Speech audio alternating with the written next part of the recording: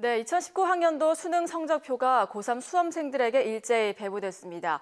불수능의 여파로 학생들은 점수가 많이 떨어져서 실망할 수밖에 없었는데요. 수시에 떨어지는 학생들이 대거 발생하면서 정시가 더욱 치열해졌습니다. 윤혜림 기자가 취재했습니다. 에, 수능 성적표지 인생의 성적표가 아닙니다. 그래서 박수. 그러니까 가채점으로 어느 정도 예상은 했다지만 수험생들은 수능 성적표를 받아들자 긴장할 수밖에 없습니다.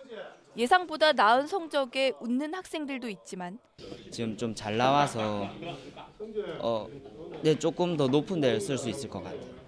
대부분의 학생들은 불수능 여파로 성적이 대폭 하락했습니다. 수시 최저 등급을 맞추지 못하는 학생들이 수두룩해 당초 세워둔 지원 계획을 수정해야 하는 상황입니다. 등급이 생각보다는 좀 덜 나와가지고 그냥 학교를 다시 생각해봐야 되는 것 같기도 하고 재수를 고려하고 있습니다. 아, 예상했던 것보다 성적이 잘 못 나와가지고 안 그래도 이번에 국어랑 영어가 많이 어려웠다고 이랬는데 서울 그 사회권에는 한 7, 80%가 체제를 못 맞추는 그런 에, 결과를 어, 나왔습니다. 정시로 학생들이 대거 몰릴 것으로 예상되면서 중상위권 학생들의 눈치 작전도 더욱 치열해질 것으로 보입니다.